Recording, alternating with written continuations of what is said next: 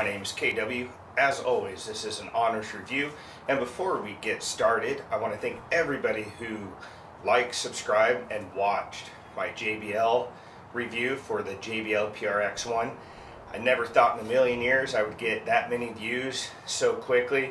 So again, thank you very much. And now on today's business, today we're going to be reviewing the Electro Voice Evolve 30 EV30M line array system.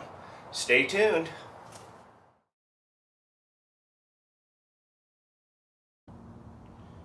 All right, welcome back, gang. So, what's in the box? Well, you get one base, which includes a 1000 watt Class D amplifier, 10 inch sub, and on the back, a 7 channel mixer. You get two aluminum poles, the line array speaker, which contains six 2.8 inch high frequency drivers, the tote to carry the speaker and the poles in, and of course, instruction manual and IEC cable.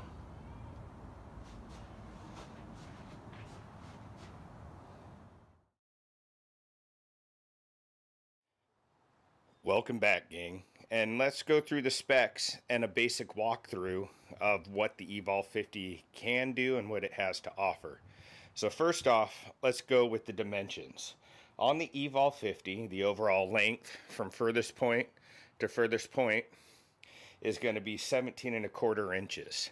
The width from furthest point to furthest point is 13 inches and from the bottom of the excuse me amplifier system to the top is 16 inches and then the overall height from the ground to the top is 78 and 3 quarters inches. Alrighty, up front you have a 10 inch driver. You do have a light that lets you know it's on, I believe. You come up the two provided aluminum poles to your line array and inside the line array is six 2.8 inch high frequency drivers. All right, welcome back, gang. So, on the back of the Evolve 30, you have a total of seven inputs one, two, three, four, five, six Omni jacks, meaning, and I got asked this question uh, in a private message on Facebook, of all things. Uh, somebody hunted me down and asked me. So, what an Omni jack is, is you can either use a quarter inch inside it, or if you have an XLR, like a microphone cable, you can also use those. And of course, you want to put uh, all your connections in before you turn the unit on. And then you just push these buttons on the to release whatever cables you have input. You have RCA, 3.5 millimeter or eighth inch um, for like your uh, uh, projectors, computers. Um, a lot of times you're not going to use it for your computers or your phones. You can usually Bluetooth, but if you are going to be doing audio, I do recommend a hardwire. Um, you do actually have a high input, uh, quarter inch for uh, such instruments like uh, acoustics that are you know active or uh, any active instrument. You do have a mix out and an aux out, which is sweet, and then a foot switch. And what the foot switch does is allows you to turn the 30 possible effects on and off that you uh, decide to use that's available here in the unit. Now we're going to power it on. Boom, comes up EV, Evolve 30M, you know, in case you forgot what you bought. Um, it's a very intuitive system. Again, if you have used the Evolve speakers, uh, JBL speakers, Mackie speakers. A lot of the manufacturers are using this type of setup, and it's pretty simple. You just push the button there, and you can cycle through the menu options ranging from EQ to Bluetooth streaming to uh, get to your effects. In this case, because the unit provides effects, you get them in two banks 22 in the first one eight available in the second bank, and you just select it, turn it on if you wish to, um, and then cycle through all your available effects.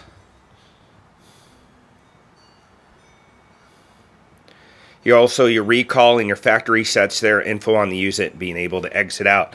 To edit a channel, you select the channel you want.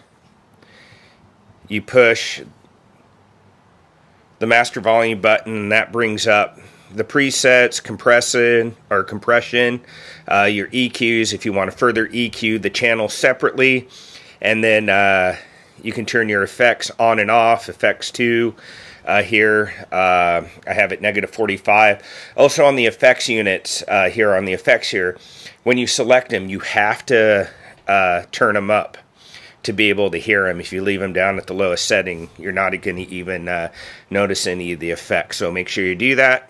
And then when you're done, go up to exit. Takes you back to the input. Turn it off, and then you can move on to your other channels. By the way, there is an app available for this. I was going to film uh, film that app or uploading of that app. However, it needed to be updated, and depending on the update, you can take anywhere from four minutes to an hour. And I was like, fuck that shit. Um, nobody has the time. And unfortunately, YouTube only allows most of us content folk about 15 minutes um, to do stuff. So I bypassed it. So uh, I will put a picture of those uh, of the app um, somewhere on here in the spec department. And then uh, for now, we're going to go ahead and uh, get it EQ'd for a sound test and uh, do a single sound test. And then we'll do final thoughts after the sound test. We'll bring you back here shortly. Ciao, gang.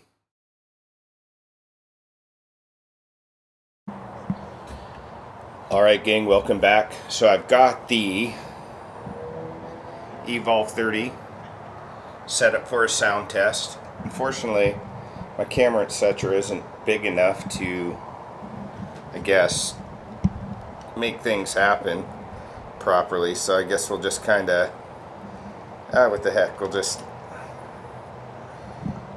keep it going at the top and we'll adjust angles as it goes. Uh, got the mic set up and uh, yeah, we'll go and get ahead and get the audio uh, started. I'm uh, going to bring it in uh, gradually as not to blast everything. I have already gone and kind of tested it out. Um, if you're curious about my EQing on this, I have the treble set to plus 6, the mid set to plus 3, um, the bass is set to plus 6, and the sub level is brought up to plus 5 and uh, got it sounding pretty good. So let's get going and I will bring it up, uh, the volume up very slowly. Left me with the pieces. Now I wanna burn all the bridges between us. Alright. Now we'll bring it up a little louder.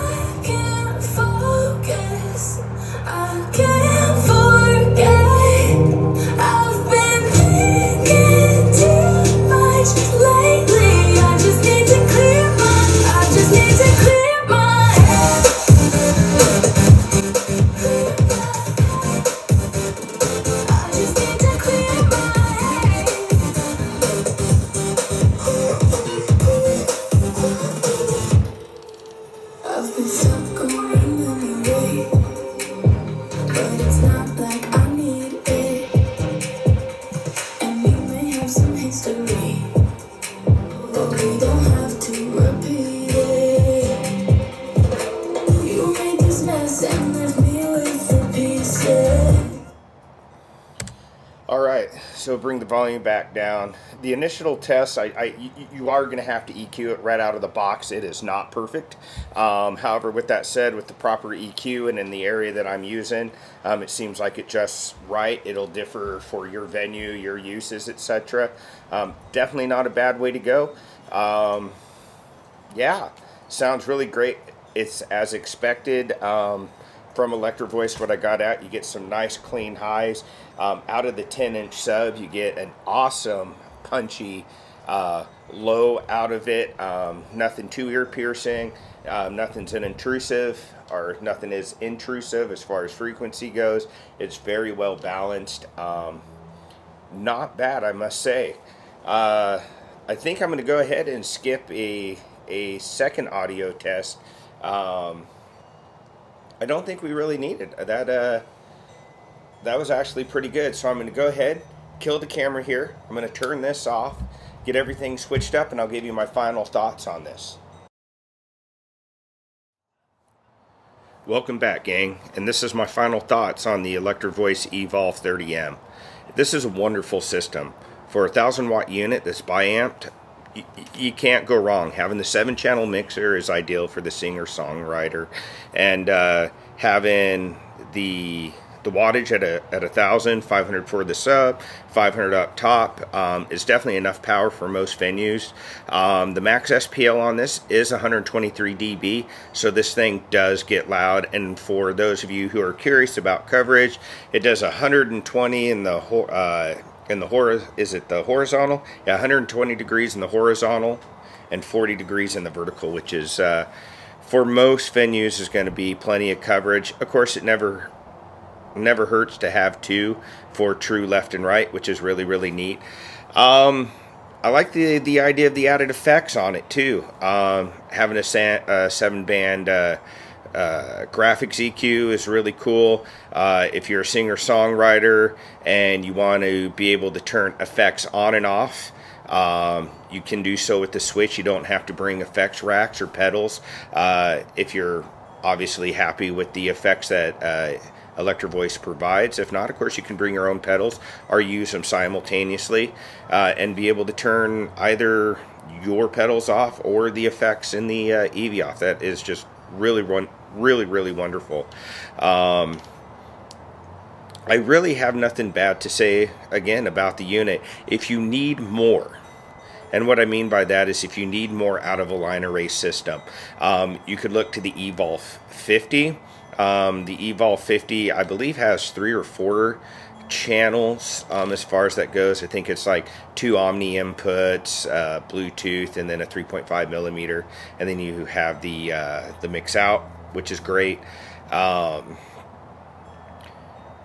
you could also go with the Evolve 50M, which is basically an Evolve 50 with the same mixer, I believe, as the Evolve 30. So if you need more punch out out of out of your sub and out of your tops. The Evolve 50 is going to have a 12 inch sub and it's going to have, uh, I believe, eight high frequency drivers up in the line array column.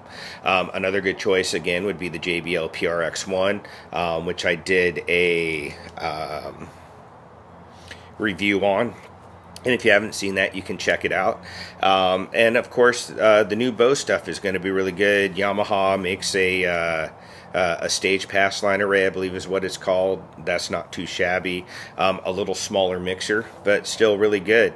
Um, if you have questions about the array sway on this, like I discussed on the JBL video, this does have a little bit of column sway. Excuse me, but nothing really bad um, as far as that goes. The one multi-function button that's on the back is very sturdy. It doesn't have a lot of wiggle or anything like that. Uh, of course, you still want to be careful during transport. They do um, make a tote slash gig bag for the amp uh, sub column um, sold separately, and I believe you can get those from Sweetwater and B&H and Guitar Center and all those got Amazon. You know, pick your poison. You can probably get it from there, um, and that's something I do recommend. Like most gear, if you are going to use this commercially, uh, being at like bars, corporate events, wineries, clubs, uh, churches, all that type of stuff, if uh, the dealer you're buying it from offers a performance protection plan. Again, I do recommend it, especially with tower sway, uh, all that stuff. Just you know, protect your gear if it's not something that Electro Voice would cover, uh, like accidents, wear and tear, that type of thing. At least you know you're not out. Um, the money you paid for this. Speaking of, at the time of this filming, the Evolve 30M, I believe, is $1,299.99. Um, and that's pretty even across the board, uh, whether you go through Sweetwater or Guitar Center B&H. Uh, the unit comes in two colors. You get it in black or you can get it in white, and I'll see if I can find a picture of that and put it up here. Um, yeah, great, great unit. I, I, I have really nothing bad to say at all about this thing. So uh, hopefully you enjoyed this. Hopefully it was somewhat informative. Um, if you want me to dive deep um, into this, I, I guess we could. Just let me know uh, in the comments below. I am going to keep this unit. Unfortunately, I did not hold on um, to the JBL PRX1. Um, no fault for the JBL. It's still a great unit, or no fault of JBL. Still a great unit, but uh, it just wasn't serving what I want, or wasn't serving me what I wanted out of it. Um, and this is, so maybe we can come back and visit the mixer and the settings and stuff like that at a later date. Again, gang, this is an agenda free uh, channel. I do not get free stuff from these vendors uh, at all. All this stuff is purchased with my own money, so I can give you an honest opinion, and I'm not blowing sunshine up anybody's butt um, in the hopes to garner some sort of monetary or materialistic gain. So, uh, you know, if uh, if uh, that means something to you, sweet. If not, well, I guess it doesn't. So, like always, gang, um, I appreciate you coming back and hanging out with me. If you do have any questions again on the Evolve 30, feel free to drop comments down below, whether good or bad. It lets me know what I'm doing wrong and what I'm doing right, what I can improve on. Um, give it a thumbs up or a thumbs down. Hey, we got people out there. And then uh, don't forget to uh, subscribe as well. I really would like to uh, build this channel and get a good reputation out there for uh, honest reviews.